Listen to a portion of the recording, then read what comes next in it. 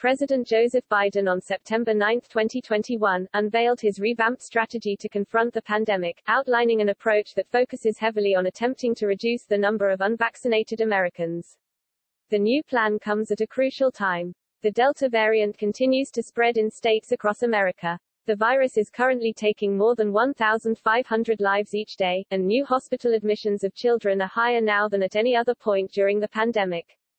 Concern is especially high in states with low vaccination rates. High transmission is also harming economic recovery as people stay home to avoid the virus.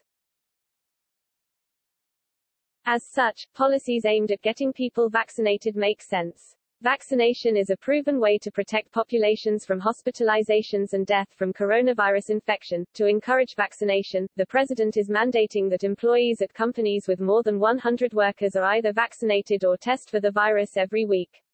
His new plan also includes enhanced production of rapid tests and making them available either free to Medicaid recipients or at cost via retailers such as Walmart and Amazon.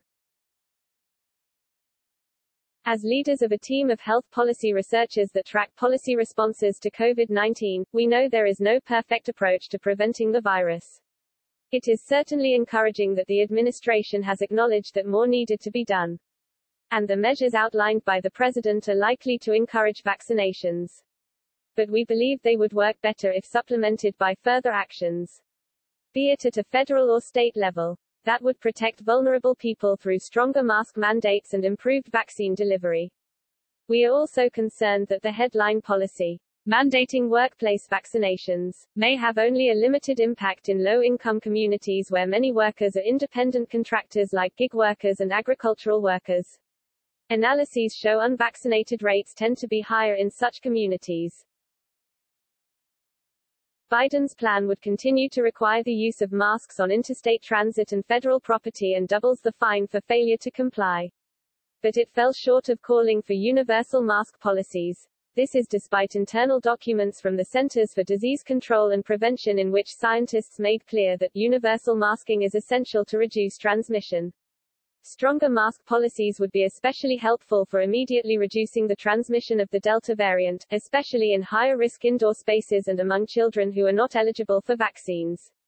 Hospitalizations in the U.S. of children went from record lows to record highs. And climbing. In a span of just four weeks. Mask mandates can reduce community transmission, allowing more time to intensify vaccine delivery efforts and messaging. A data-driven approach to mask mandates would supplement the measures Biden has laid out in his path out of the pandemic. Such a policy has been put to good use in Nevada, where mask mandates come into effect in counties with high numbers of infections and are then removed when cases fall below a certain level.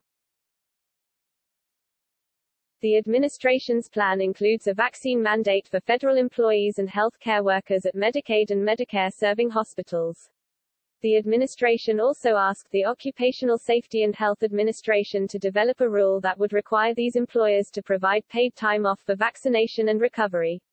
While many federal employees, healthcare workers and higher income workers are already vaccinated, even modest increases could make a difference, especially in regions with low vaccination rates. The new vaccine mandates are less likely to reach low-income workers, many of whom are considered independent contractors or who work in small restaurants or other businesses and as such will not be covered. Research has shown that vaccination rates tend to be lower in lower-income communities. This may be because lower paid workers are focused on meeting other needs like food, housing and child care for their families, have less time because they are working more than one job or cannot afford unpaid time off work to get a shot. The Delta variant continues to spread rapidly through the U.S. State leaders can play an important role in speeding up vaccine delivery efforts at schools, neighborhoods and workplaces. Efforts that are directed toward low-income communities and workers where vaccination rates remain lowest are more likely to yield greater results. And mask policies could slow the spread of COVID-19 until more adults and children can be vaccinated.